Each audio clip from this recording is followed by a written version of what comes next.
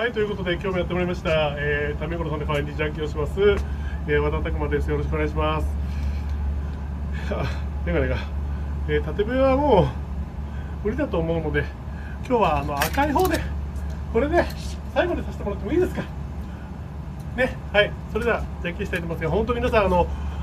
長いことお付き合いいただいてありがとうございました。もう今日で最後ですので、えー、それでは心置きなくじゃんけんしたいと思いますが、笑顔でね、最初はでっかい話とじゃんけんぽい。初期ですかね。初期です。さあ、チョキチョキっていう感じで、えー、皆さんもピースサインで、えー、過ごしていっていただければ